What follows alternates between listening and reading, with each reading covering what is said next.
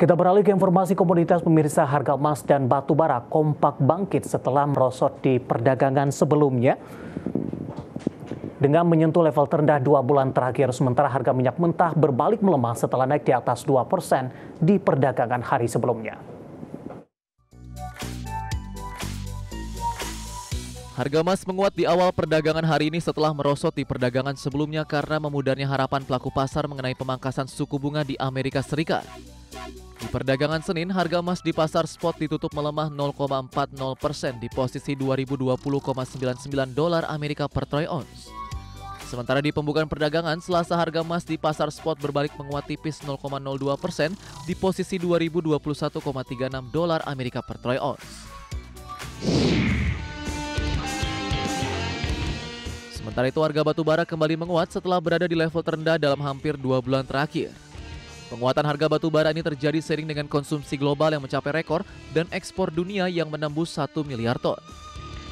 Merujuk definitif, harga batu bara ICE Newcastle kontrak Februari ditutup di posisi 123,95 dolar Amerika per ton atau menguat 1,6 persen di perdagangan Kamis waktu setempat. Penguatan ini terjadi pasca harga batu bara mengalami koreksi selama tiga hari beruntun.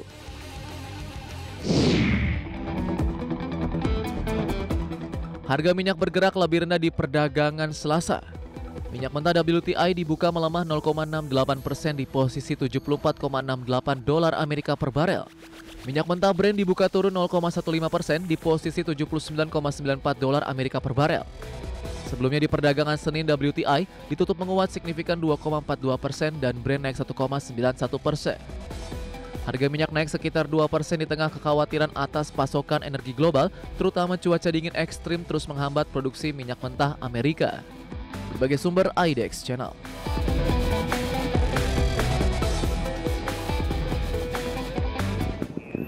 Dan bagaimana update terkini harga sejumlah komoditas yang berhasil dihimpun oleh tim redaksi kami sampai dengan sore hari ini waktu Indonesia Barat. Dapat Anda saksikan juga grafis di layar televisi Anda pemirsa, minyak WTI menguat di 0,08 persen, tipis saja di level 74,82 dolar Amerika per barrel. Nikel juga melemah di 0,08 persen di 16.023 dolar Amerika per metric ton. Emas menguat di 0,54 persen di 2.033,5 dolar Amerika per ounce. Sementara CPO juga menguat di 0,63 persen di 3.946 ringgit Malaysia per tonnya.